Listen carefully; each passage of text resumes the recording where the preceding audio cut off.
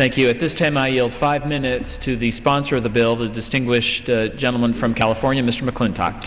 The gentleman from California is recognized for five minutes. Uh, thank you, Madam Speaker, and I thank the gentleman for yielding. I had hoped that amidst all the controversies that grip Congress, certainly we should at least be able to agree that the full faith and credit of the United States should not hang in the balance every time there's a fiscal controversy in Washington. And I want to thank Chairman Camp and his Ways and Means Committee uh, for revisions that make this solution much simpler and more practical than the original draft. Madam Speaker, this bill simply guarantees that the sovereign debt of the United States government will be paid in full and on time under any circumstances. Most states have had similar provisions to guarantee their debt in their laws or constitutions for generations. Last year, in testimony to the Senate, Ben Bernanke praised these state provisions for maintaining confidence in their bonds. He told our House Budget Committee that a similar measure at the federal level would help to protect us against a sovereign default, which he called a very high priority. And yet, this president and his followers in Congress, who've taken our nation on the biggest borrowing binge in its history, who've run up more debt than almost all of his predecessors put together, oppose this common sense measure to strengthen the credit upon which that debt depends. This bill tells credit markets that even in the event of, of an impasse on the debt limit, their loans to this government are absolutely safe. Now, the Democrats have raised three arguments in opposition. Uh, first, uh, the whip just said that, that guaranteeing the nation's sovereign debt is just an excuse for not paying our other bills. What utter nonsense. I challenge him to name one member of Congress who has ever suggested that this measure is an acceptable substitute for not paying our other bills? Do they actually suggest that all these other states that have guaranteed their sovereign debts for generations have ever used these guarantees and as an excuse not to pay their other bills?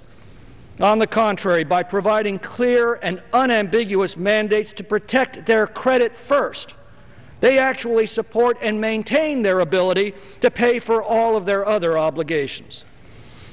The second argument that we have heard ad nauseum is that this bill will pay China before it pays our troops. Well, I would remind him, as the chairman said, that more than half of our debt is actually held by Americans, often by American pension funds. China holds just 11 percent. So, so this measure actually protects Americans far more than the Chinese. But whether our loans come from China or from grandma's pension fund, without the nation's credit, we cannot pay our troops or any of our other obligations.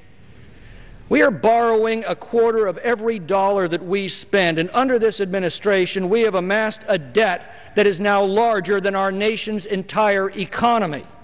Our nation's credit now carries a greater strain and burden than it ever has before. This measure strengthens our credit by guaranteeing that our sovereign debt will be paid in full and on time. Now, perhaps the most bizarre argument that we've heard is that by guaranteeing the nation's credit, we actually undermine it and risk another downgrade in our credit rating. After all, as the ranking member said, um, a downgrade followed the last debt debate in Congress. Well, here are the facts. Standard & Poor's officials had warned for months that Congress had to reduce the projected 10-year deficit by $4 trillion in order to maintain its AAA credit rating. Because of Democratic intransigence, this Congress could only reduce it by $1.2 uh, trillion. And so we lost the rating. Facts are indeed stubborn things. But the opponents are correct in one point, that several officials did express a concern that the impasse could have caused a default in the nation's sovereign debt. That is precisely what this measure would protect us from in the future.